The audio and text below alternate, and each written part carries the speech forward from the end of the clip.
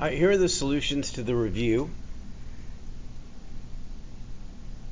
Let's see what's happening here. All right, we need a factor. So the numerator, I want you to draw a diamond with me. And the top number is negative 12, the bottom number is negative 1. see if I can clear this up.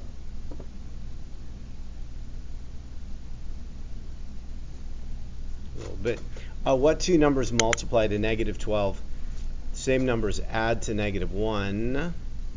There we go. That's negative 4 and 3.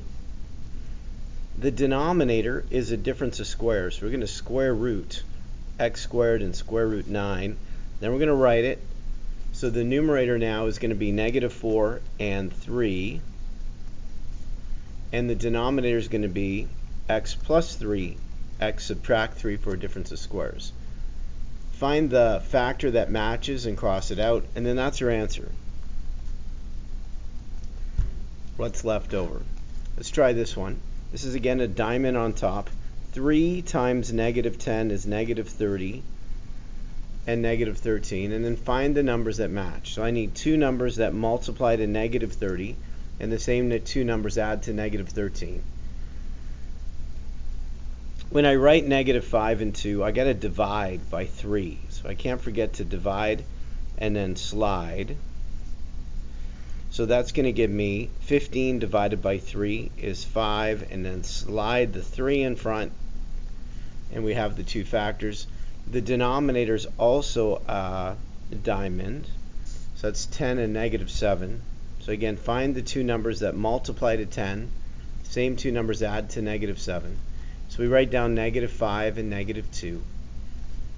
The two factors that match cross out, and then what's left over is our answer it's really important that you do it first.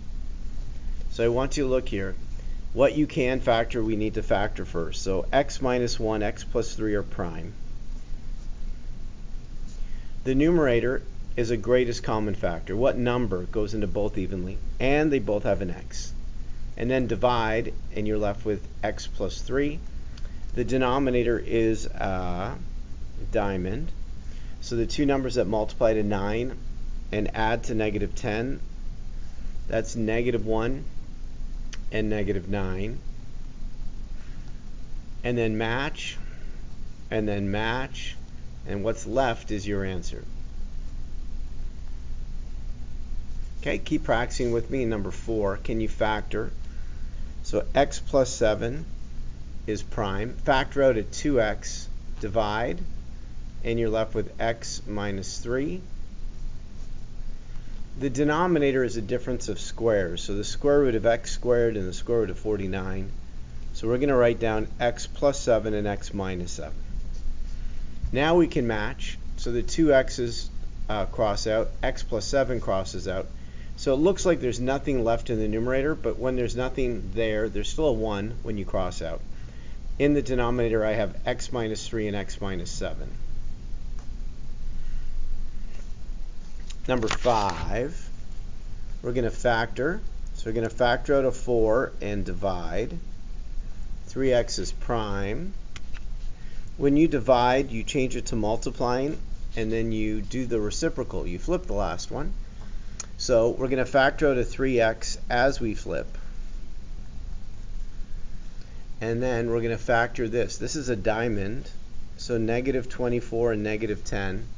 So the two numbers that fit are negative 12 and 2. They multiply to negative 24 and add to negative 10. So the x plus 2's cross out. Uh, 3x crosses out. And I'm left with 4. 2x subtract 3 in the numerator. And x minus 12 in the denominator. Alright, let's keep going. Again, we're going to keep this and factor out a 2x. Change it to multiplying. And then this is a diamond, so we're going to do 3 times negative 15, which is negative 60 and 4. A little bit big, but we can do it. Sorry, negative 60, negative 45. When I do that correctly. So 9 and 5, those are the obvious two numbers that multiply to 45. So it's 9 and negative 5. And then I have to divide. And so when I divide, I divide by 3. And that's going to go in the numerator. So 9 divided by 3. And then 5 uh, doesn't divide by 3. So 3 slides in front. 3x minus 5. The denominator, factor out an x. And you got x minus 1. And then match and cross out. One's a little bit tricky. x goes into x squared, leaves 1x. But then we have another x that would cross out with this. So the only thing left in the numerator is 3x minus 5. And in the denominator, I have a 2 and an x minus 1. Number 7, we're adding.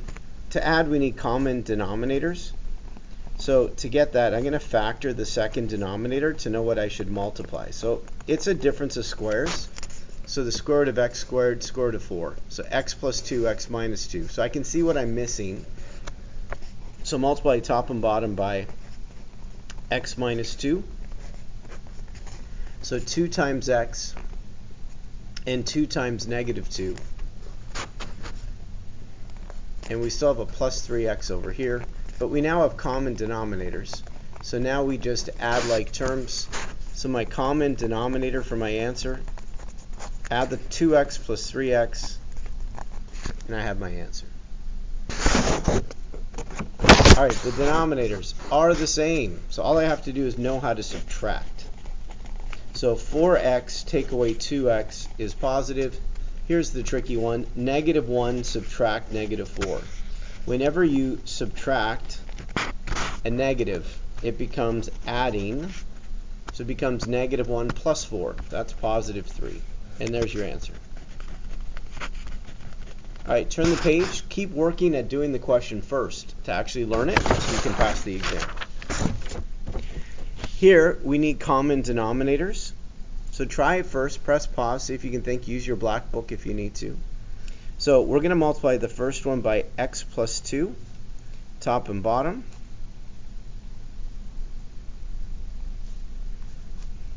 The second one we're going to multiply by x minus 5,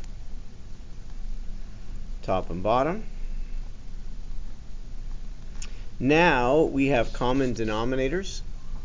So I have multiplying times 1 doesn't change it, so it's x plus 2 minus, now 2 times x, I'm going to put parentheses around this, is 2x, and 2 times 5 is negative 10 with that common denominator. Kind of ran out of space here, but we'll make it work. Then, when you subtract, x subtract 2x is negative 1x. And then when you subtract a negative, you're adding. So it's 2 plus 10. So that's why it's 12. And then you have x plus 2x minus 5.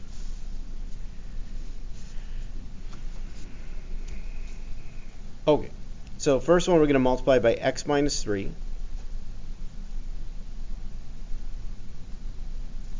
The second one we're going to multiply by x plus 1.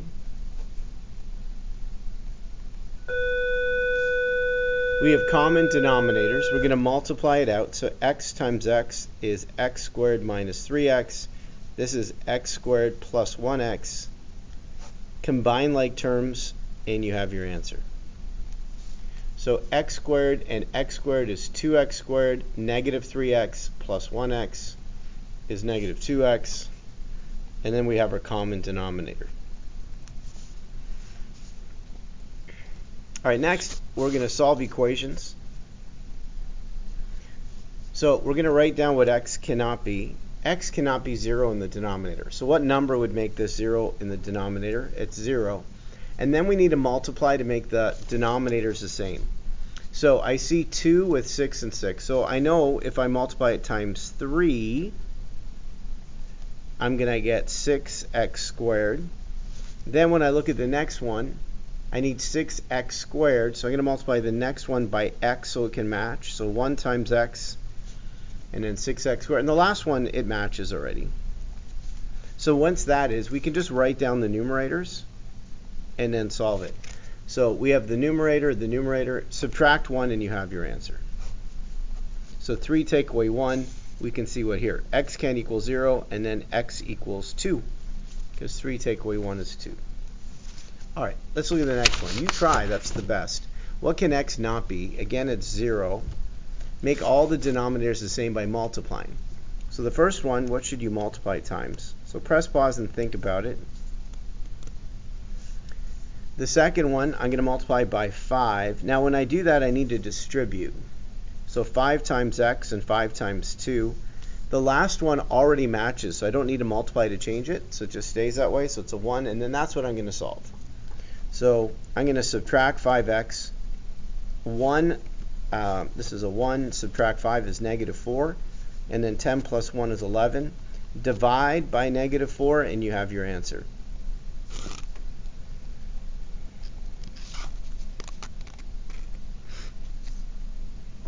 Number 13. We want to write down what x cannot be. So it can't be negative 2, because negative 2 plus 2 is 0, and it can't be 0. And then I need to make the denominators the same. So I'm going to multiply this by x. The next one I'm going to multiply by x plus 2. So I have negative 3x. I'm going to distribute. That's 6x plus 12. And then this needs an x so it can match, top and bottom. And 1 times x is x. That's what I'm going to solve. So 6 take away 3. I'm going to subtract 12. I'm going to uh, subtract x. And then the last step after you subtract x, I'll write it here, 2x equals negative 12. Divide by 2, and you get your answer.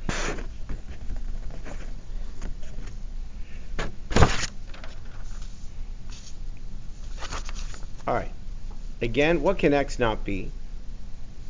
And then can you make the denominators the same? So I'm going to multiply by 2. So I have x minus 4 minus 2. I'm going to multiply by x so that all the denominators match. And then I'm going to solve that. So we have negative 4 and negative 2. I'm going to subtract x. 5 take away 1 and then divide by 4 and I have my answer. You don't have to simplify it, but if you did, it'd be negative 3 over 2, but you can write it as negative 6 over 4.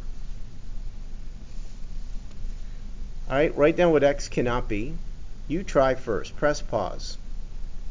It's positive 1 and 0. And then to solve this, the denominators need to be the same. So I'm going to multiply by x. I'm going to multiply by x minus 1. I need to distribute. So that gives me 3x and negative 3. The last one I'm going to multiply by x. And then that's what I'm going to solve. So we have 4x minus 3. Oh, this one's a tricky one when we try to solve for x here, and I didn't really mean to do it, all the x's eliminate and you're left with negative 3 equals 0. That's not true. There is no solution here. So we would write down no solution. Because all the x's eliminate, which I kind of didn't mean, but you know, it happens. And there you go. That If you ever do have all the x's and there's nothing left, and the two numbers don't equal each other, there's no solution. Now, if both the numbers equal each other, it would be all real numbers. Every n number would then solve the answer. So it could go either way. All right, let's graph. All right, for this one, this is a reciprocal. We're going to write down what A, H, and K. What do we need to remember? Opposite day. H is the opposite number. Everything else is what it says. The domain comes from the H. H cannot equal 2, and Y cannot equal 3. The end behavior is comes from the k, so as x approaches infinity, we can use f at x or y. It approaches 3 from both sides, whatever the k value is. And then we need to do some changes. So we have 1, 1, and we have negative 1, negative 1. We need to change it. So to change the x value, it's just the h. So 1 plus 2 and negative 1 plus 2 for the y coordinate, we multiply times a, so 1 times 1, and then add 3. So again, negative 1 times 1 is negative 1, plus 3 is 2, and our asymptotes are 2 and 3, h and k. So uh, 2, change colors, make it look pretty. Uh, 2 is the vertical, and 3 is the horizontal. This one's going to go away, of course, make it look pretty. uh, the 3. Maybe this one will work for me. So 2 is the vertical, 3 is the horizontal. The two points, 3, 4. So 3 to the right and 4 up. And one, two, one to the right and 2 up. And then in the middle, it goes up forever and to the side. In the middle, it goes down forever and to the side. And you graphed it. So turn the page. I really want you to try number 17 before I do it. So press pause. So I'm going to write down A equals negative 3, H is negative 1, and K is 2. There you go. I hope it matched. Remember to change the sign. So the domain x cannot equal negative 1 and y cannot equal 2, and the end behavior goes to k. So as x goes to infinity, f at x goes to k, which is 2. As x goes to negative infinity, the left behavior, the function goes to 2. So for a reciprocal, it goes to a number, and that number is whatever k equals. There we go. Then we need to change two points. So 1, 1 and negative 1, negative 1. The h changes the x. So 1 take away 1 and negative 1 take away 1. The k value we have to multiply then add. So maybe we need to write it out. So 1 times negative 3 and then plus 2. So this is negative 3 plus 2. So there's a point. We could do the same thing for negative 1. Negative 1 times negative 3 plus 2. So we know a negative times a negative is positive 3 plus 2. So those are the two points here. So 0, negative 1, and negative 2 and 5. The asymptotes are at x equals negative 1 and y equals 2. Let's see my colors. So negative 1 and what was the other one? 2.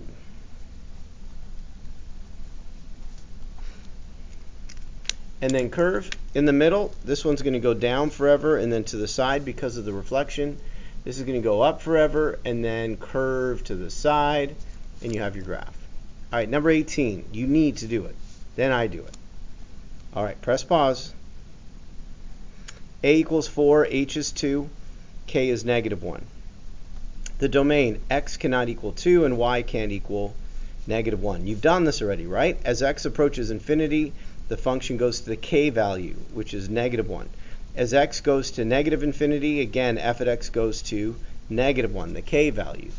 Then we're going to change two points, 1, 1, and negative 1, negative 1.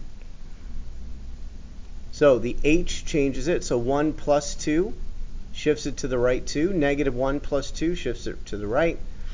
And then we're going to stretch and then subtract. So we're going to go 1 times uh, 4 and then uh, subtract 1. So that gives me 3. We're going to go negative 1 times 4, take away 1. That's negative 4, take away 1, which is negative 5. So, and we have our asymptotes, which are h and k. Oops, that's not h. h and k. All right, so 2 and negative 1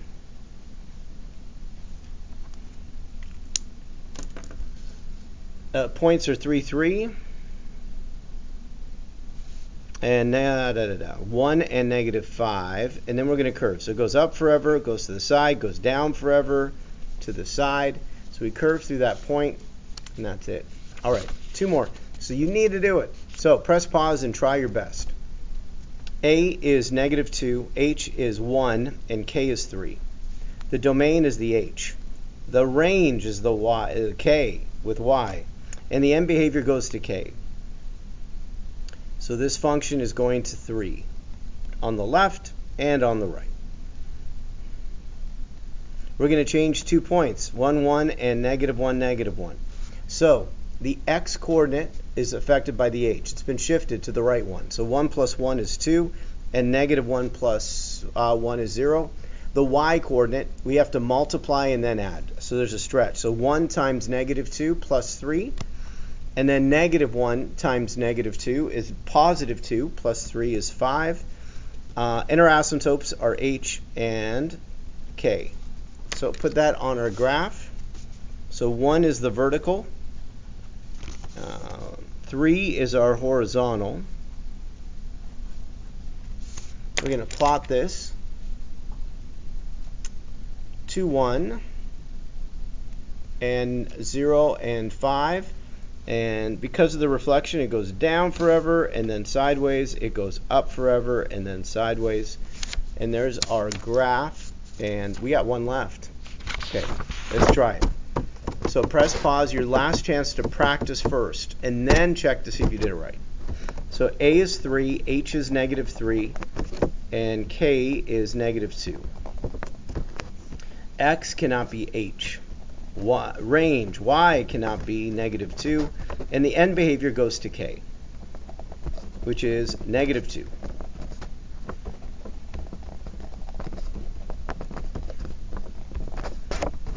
So I have our domain, range, and our end behavior correct. We're going to change two points. So 1, 1, and negative 1, negative 1. So to change 1, 1, we're going to take the h and go 1, take away 3, and negative 1, take away 3. To change the y, we're going to multiply and then subtract. 1 times 3, that's 3. Take away 2 is 1. Again, negative 1 times 3 is negative 3. And then negative 3 take away 2 is negative 5, and that's what's going to go on the graph. The asymptotes are h and k. And then we'll put those on. So negative 2 and negative 3. So here's negative 3. And negative 2. The points negative 2, 1, and negative 4, 5. Okay, got that? No, something went wrong. So let's try it again. So negative 2, 1, and negative 4, negative 5. That's wrong. So why did I think that was wrong? Because these reciprocals are in corners. So if they're beside each other, that's no good. Or if they're underneath each other, they're no good. They have to be in the corners. So that was not in the right location. So I saw that I did something wrong. So negative 4 and negative 5. There you go. I made that mistake for you. And then we're going to curve up forever and then sideways, curve down forever and sideways, and we are done. We're going to practice. You did that. We're going to study now. This and our black book, right? Get a good rest, eat your breakfast. We're going to do great when we do the exam. Mr. GMAT, over now.